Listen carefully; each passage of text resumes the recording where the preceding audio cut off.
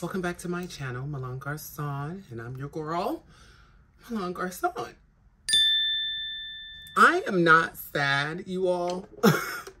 I am. I'm lying. I'm lying. I'm lying. I'm a little sad. Do I think it'll last long? No. All in all, today, I can't tell you what show I just did a fitting for because it's a very popular show. Do I watch it? No do other people like my grandparents watch it? And like anybody that watches like regular nighttime television you definitely watch this and you know who's in it.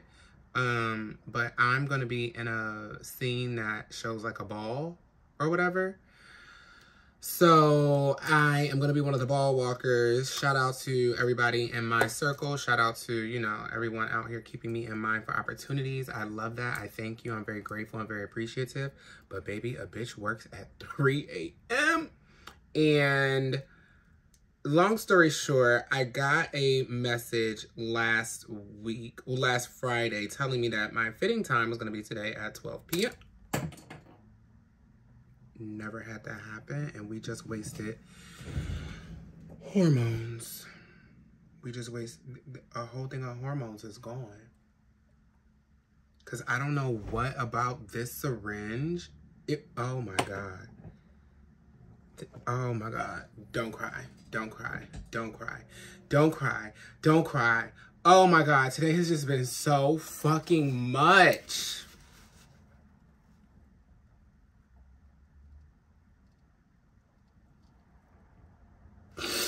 Just want to go to sleep.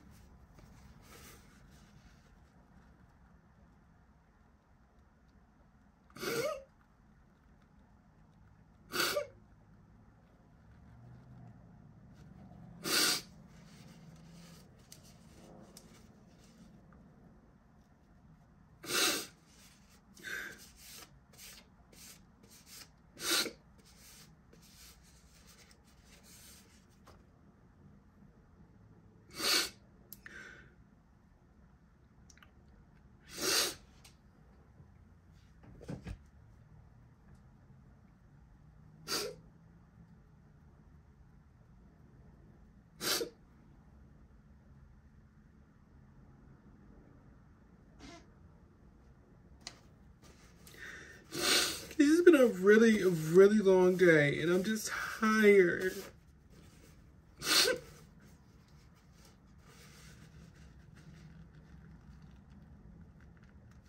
and I just feel like I don't have anybody to just lean on the way that I want just...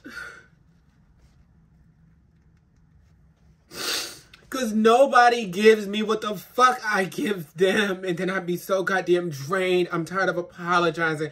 I'm tired of being there. I'm, I'm just tired.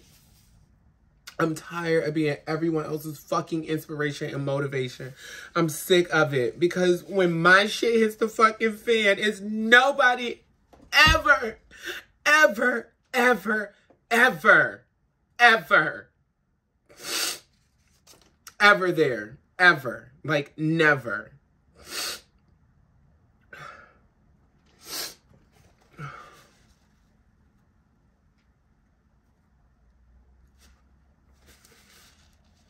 like if I'm being real and being honest, the way I have always shown up for my friends, for my family, best friends, my mother, like none, none of them can I say at this point in my life, at this day and age, have any time, room, or capacity to actually be there for me because everybody's dealing with their own shit and I fucking get that. But damn, like, what the fuck? Okay. I'm gonna try this again because I don't have another, I don't have any other choice. Hopefully the syringe just wouldn't move and I'm just pressing it trying to get it to move.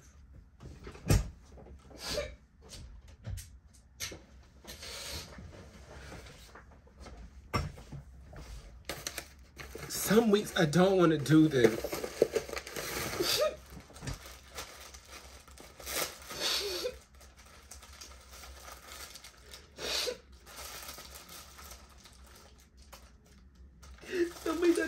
come home and go to sleep like everybody else. I'm tired. about. I don't have anything to say. I just want to go to bed.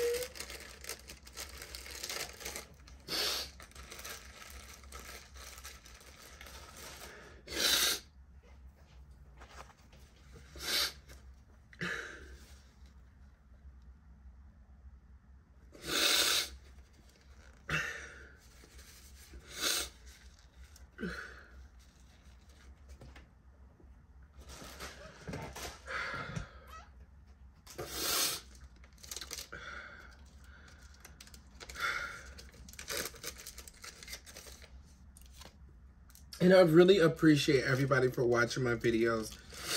But y'all, can y'all please not tell me, oh, you should have done this, you should have done that. Like, just, I don't know.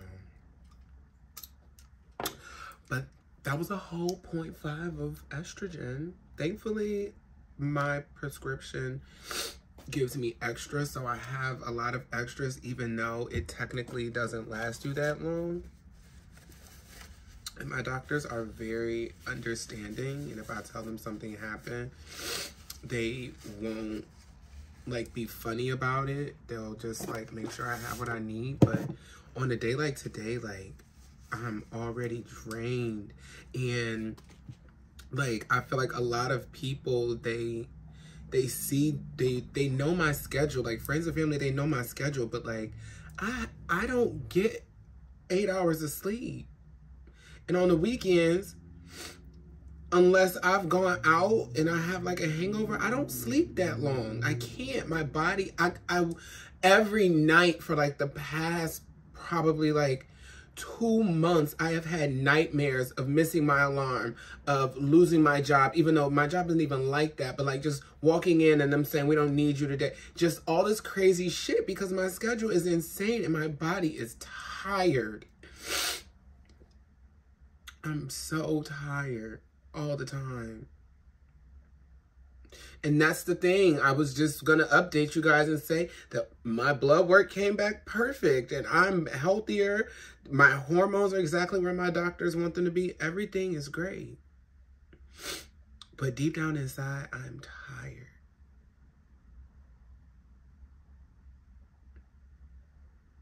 I feel like I'm chasing myself. I just, I just, I'm fucking tired, yo.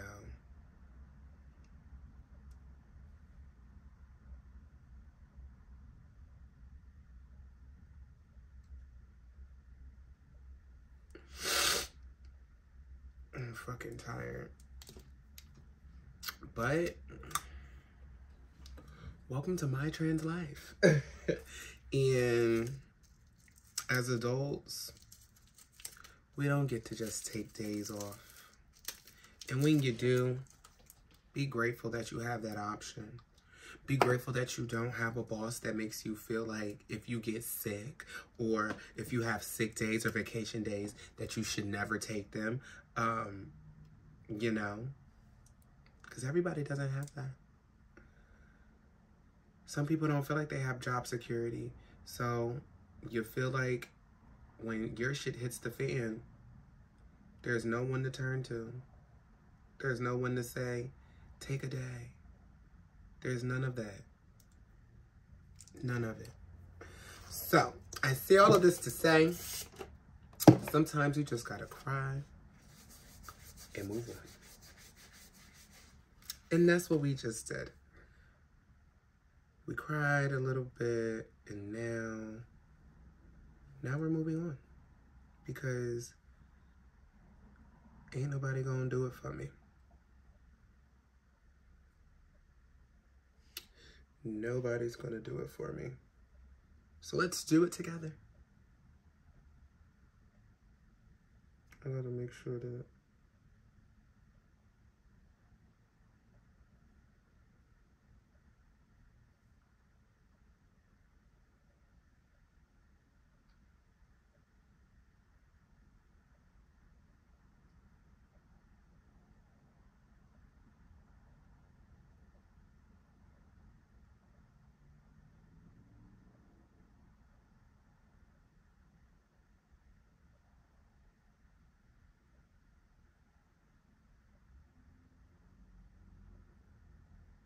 Okay, I'm just gonna focus and do this.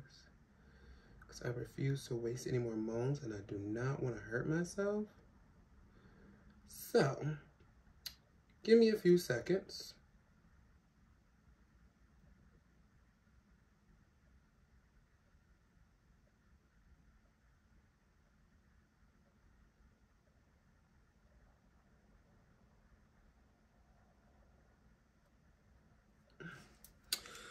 Well, that was a first. I've never cried while doing a hormone shot. Not even my first one to celebrate.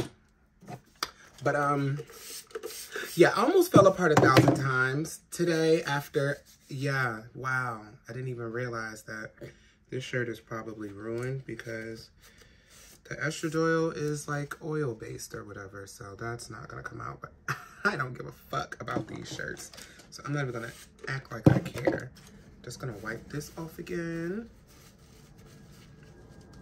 Um, I'll just keep an eye on this bottle of Mones because, yeah, I may need an extra vial sooner than later. But that's the beautiful thing about my um, fucking airplanes. Like, yo, I don't need to be awake right now. Like, it's extremely too much stuff happening and I've been awake for, for too long and I've already done too much, including cry on fucking camera. So you know what? I'm not gonna shut up for for for any of the sounds in the background. I live in New York City. If y'all care about it, get the fuck over it. I don't normally talk to y'all like this, but I ain't got it in me today. I just don't. So um, with all of that being said, it's been a long day. It didn't. It did not start off like this at all. Um, I think that I already have a lot going on. So whenever I'm tired, it just makes me it just makes it easier for me to just like get trapped in the emotions, I think, very quickly. Um the cry felt good. Did it fix anything? No.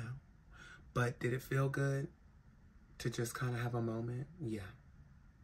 But with that, I'm going to eat some food. I got some rasta pasta and jerk chicken over there. I'm going to eat some food and I'm going to try not to cry about it anymore. And hopefully I can get me, you know, another good good night's rest. I just can't believe that like this is all estrogen. Like if I keep looking at it, I'm gonna start crying again.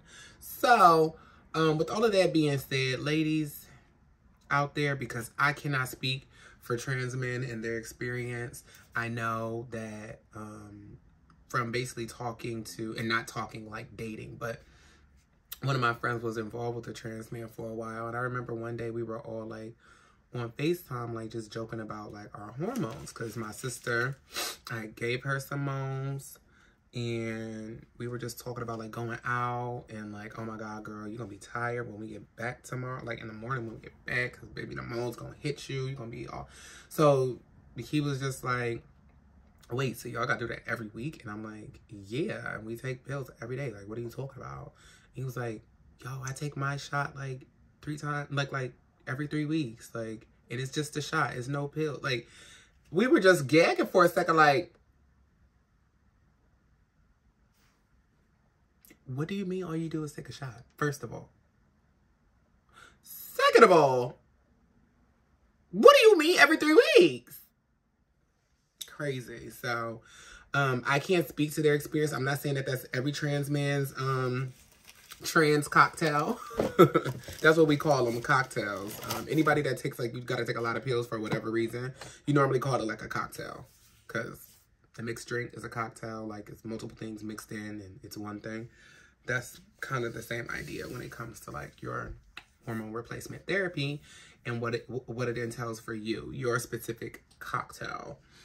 Um, but yeah, it's just, it's been a long day. Oh, so I was saying, I had to go to a fitting after work. And because I got a message last week saying that my fitting was going to be at 12 p.m. I got another message this morning which said that the fitting was confirmed, but the call time is TBD. If you work in the industry a lot, you're used to like not being able to contact people. You're used to wait, like rushing to wait. You're used to not getting your call times until the night before, sometimes hours before, most of the time the morning of. And today when I got a message around 10 a.m. and it said, um, TBD for the fitting. I'm like, oh shit, well, I wonder what time it's going to be because I thought it was going to be at 12. Come to find out it was always at 12 when I got on the train to go home and wait. And if it got later, I was going to let the lady know, like, hey, I never got like an official call time or whatever. Mind you, in the initial message, I went back and looked and she said, I think. So it was not confirmed. But either way, um, I basically took a train all the way home. And then literally by the time I got off, they were like, where are you, Milan? I'm like, I sent them a screenshot. They were like, oh, that's weird that you got that message. Um, cause what I'm doing, I'm like not in the, I'm not a part of the background, but I'm technically like not like a, I guess I'm just a feature. So in this situation, like I'm in I'm in two different situations. So like I'm gonna get all of the general background emails and texts because I'm not a primary character, but my stuff is a little different. So yeah. But either way, I basically got right off the train at my stop at my regular time to get home. And I had to literally wait 10 minutes and get right back on the next train to go right back where the fuck I came from. So that was annoying, but while I was doing that, I was talking to my mom about like some stuff that like we're dealing with right now. You know, everything is okay. My mom is doing great. I know you always ask about her, but she has a lot of amazing things um, changing in her life right now. And I'm so happy for her and I want the best for her. I want her to live it up, be selfish, enjoy life. Um, I've been wanting her to move from Cleveland because Cleveland is not the safest place, especially when like a few years after I moved from home, a barbershop got like literally shot. It was a massacre in the barbershop right around the corner from my house. Like literally like right around the corner from my house. Like not, oh, black people right around the corner, but I'm still 10 minutes away. No, honey, like walking distance right around the corner. And it's just getting worse and worse. So I've been wanting her out of, of that place. She always has wanted to live in a warmer climate. So I'm very excited for what she has in store. But um, we're in very two different places right now. And because it is something that is changing her life in such an amazing way, it does involve me, but um, I don't feel involved. And that's a little difficult. And I've been working really hard not to put that um, those feelings and, and, and baggage on her, but I also can't not communicate with my mother. And when I communicate with her, if I'm feeling a type of way, I'm not, we, we communicate like best friends. Some of the estrogen went in my mouth. I'm not mad at it. But it's just a little gaggy. Like, I mean, if I could put it inside of my arm, more than positive, it's fine on my tongue. But it's different. But um, yeah, it's just like a lot going on in my head right now. I don't really want to go that deep into it. Nothing's wrong, like I said. Um, it's just really, it's just really difficult when it's like, I feel like I can't lean on her because she's got a lot going on. Like I said, a lot is changing. And as I, as you get older, as I approach 30, I just don't feel like it's everyone's job to make sure you're okay. I don't feel like um, it's okay to, you know, take someone else out of their happiness, especially with it being my mom and just, I just want her to, I just want her to be so happy. So I just feel like this is, this is one of the, this is one of the moments where you really found out what you made of Milan and you just, you go with the flow of the situation and don't overthink. Because if I overthink this situation and not feeling involved in her life in certain ways or like I'm still like her everything, which I want my mom to. No one person could be your everything at all. But you know, like I just feel like me and my mom are in two different spaces. Like I'm not unhappy, but I'm not like my normal happy-go-lucky self. Like I'm I'm I'm processing a lot of things and I'm and I'm really I'm really going through a huge freaking growth phase. And I ain't talking about these. But just like internally, like mentally and spiritually, I'm going, and physically, like let's not ignore that, but also let's not focus on that. I'm going through a huge mentally taxing era of my life where I am going to come out so much stronger, so much more beautiful, so much more resilient, also more vulnerable. um, stronger, softer, you know, all, like all of those things. And I'm kind of letting it happen as it happens because that's just the way. Sometimes you just gotta go up the fucking flow. But um, I'm loving the growth. I'm loving the things that I'm realizing, but it ain't easy. So that is, that's what I'm like trucking through right now. So I don't, and I can't put everything on her because I don't want her to figure it out. Like I don't want her to try to problem solve. Like th like this is my life to figure the fuck out. So yeah, that's all I got today. It, um, I literally thought that there was gonna be like a five minute um little doohickey here, but like always, my life is like a fucking movie, and I can officially say that I've cried on the internet because that is not something that I do. But also, I think any any trans girl out there that is watching this probably cried with me. And for that, we thank you. it's been real and it's been fun. It was not real fun, but I'll keep it. I'll, I'll keep it in the branding. It's been real and it's been fun, but it ain't been real fun. I'm gonna have to catch you on my next one. Mwah. No mones. Ah!